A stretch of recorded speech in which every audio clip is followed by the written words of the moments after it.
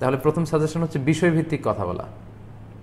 এবং আপনি বিষয়ের ভেতরেই থাকার চেষ্টা করুন। যদি হতে পারে যে উদাহরণ দেওয়ার জন্য আপনি ডানে বা এদিক সেদিক কিছু উদাহরণ দিলেন আর তারপর আপনি আপনার সাবজেক্টে চলে আসুন। আবার আপনি আপনার বিষয়ে কথা বলুন।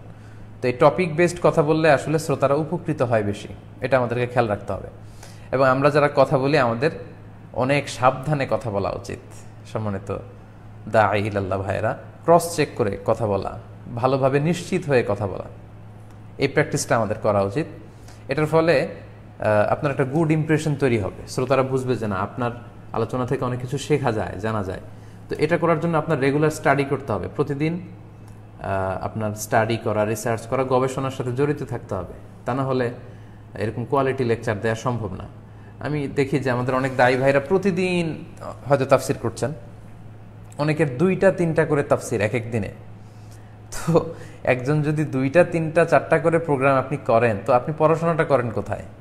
খুব ফ্র্যাঙ্কলি স্পিকিং যদি একেবারে লজিক্যালি আমরা চিন্তা করি, আমি যদি চারটা ডেলিভারি একদিনে দেই, তাহলে চারটা ডেলিভারির জন্য যে ম্যাটেরিয়াল আমার প্রিপেয়ার করার দরকার ছিল, এটা আমি কখন করলাম? আমি যদি পর্যাপ্ত পড়াশোনাটা না করি, তাহলে আমি কোয়ালিটি লেকচার দিব কীভাবে? সো আমার মনে হয় রেগুলার মাহফিল করা, প্রতিদিন মাহফিল করা এটাও একটা বড় সমস্যা কোয়ালিটি লেকচার ডেলিভারি দেওয়ার ব্যাপারে। সো একটু গ্যাপ দিয়ে দিয়ে তফসির প্রোগ্রাম যদি আপনি করেন পড়াশোনা করে করে, তাহলে সেই কোয়ালিটি লেকচারগুলো আপনি দিতে পারবেন। অথবা যদি কারও এরকম প্ল্যান থাকে যে আমি তিন, চার মাস দাওয়া কাজ করব, ডিসেম্বরের আগে তিন, চার মাস আমি খুব ভালো করে স্টাডি করে লেকচার শিট রেডি করে ম্যাটেরিয়াল রেডি করে বা দার্স রেডি করে তারপরে সেগুলোর আলোকে করব, সেটাও হতে পারে। তো সবচেয়ে গুরুত্বপূর্ণ বিষয় হচ্ছে, আমাদের আলোচনাগুলো যেন থিমেটিক ডিসকাশন হয়। তাফসির মাউদুই মহাদারা মাউদুইয়া বিষয়ভিত্তিক যাতে হয়, লোকজন যাতে উপকৃত হয়। তাহলে দেখা যাবে যে শ্রোতারা যারা আসছে, তারা কিছু নিয়ে যেতে পারবে এবং আউটপুটটা খুব বেশি হবে।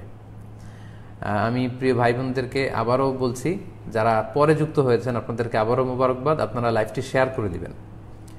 আপনারা মেহরবানি করে লাইভটি আপনারা আপনাদের ফেসবুকে ওয়ালে শেয়ার করে দিন, ফলে আরও অনেক ভাই বোনেরা আমাদের সাথে যুক্ত হতে পারবেন এবং এই কথাগুলো থেকে হয়তো ইনশাআল্লাহ তাআলা উপকৃত হতে পারবেন। আমার তরুণ দিনী ভাইয়েরা যারা দা ইল আল্লাহর কাজ করছেন, তাদের জন্য আমার দ্বিতীয় যেই হাম্বল সাজেশন সেটা হচ্ছে একজন দা আই ইলাল্লাহর একটা বড় ধরনের বৈশিষ্ট্য হচ্ছে তিনি কোমল ভাষী হবেন। খুব সফট ল্যাঙ্গুয়েজে তিনি কথা বলবেন, কোমল ভাষায়। দরদ, মাখা, মন নিয়ে তিনি কথা বলবেন। এটা খুব জরুরি। অনেক সময় এটা আমাদের মিসিং হয়ে যায়। হয়তো আমরা কথা বলতে বলতে অপ্রয়োজনে, প্রয়োজনে অপ্রয়োজনে হয়তো উত্তেজিত হয়ে যাচ্ছি, খুব আগ্রাসী হয়ে অ্যাটাকিং একটা অ্যাটিচিউড নিয়ে কথা বলতেছে। এটা অনেক সময় আমরা ভুল করে ফেলি। এটা আমাদের খেয়াল রাখা দরকার। দাও